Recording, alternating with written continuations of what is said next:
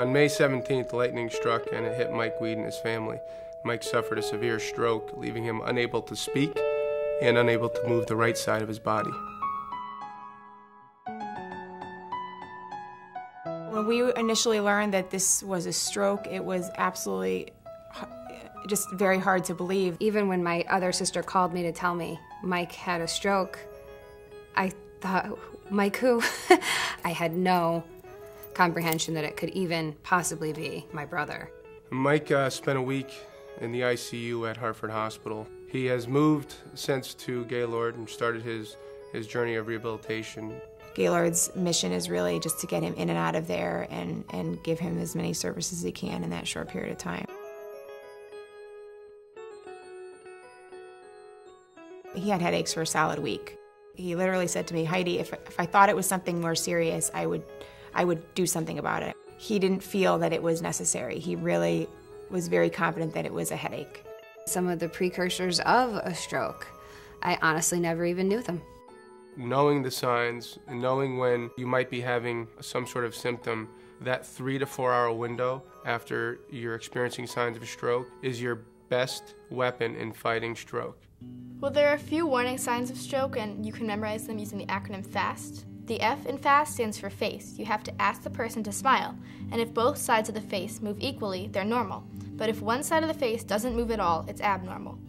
A is for arm. Ask the person to raise both arms. If both arms move equally, they're normal. But if one arm drifts downward compared to the other, it's abnormal.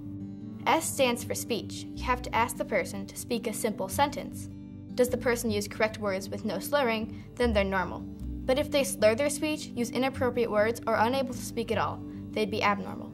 T, it's time. Time to call 911. If you observe any of these symptoms, call 911 immediately. Every minute matters. Weed Strong is, is about the fight. It's, it's when you look in Mike's eyes, that's Weed Strong. You know that he's going to get through this, that he's going to fight. And if anybody is going to get through the situation, it's Mike Weed. The support from our family and friends has been overwhelming. All positive, overwhelming. Um, I, I didn't know we know this many people. I have people reaching out that I, I don't recognize names. Neighbors coming out of nowhere to help mow our yard.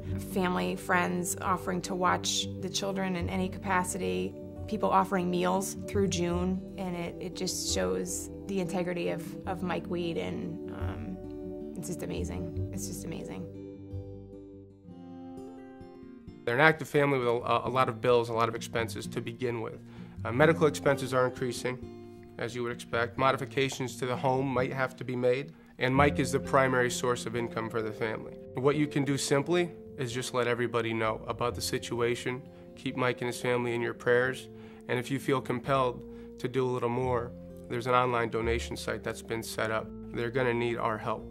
They're a wonderful couple together. They've got three great kids, and God willing, the future has a, a holds a whole lot more for them and their family. On behalf of my father and the entire Weed family, we thank you for coming together as a community and showing us your overwhelming support. Remember, know the signs of a stroke and act fast. When there's a weed, there's a way.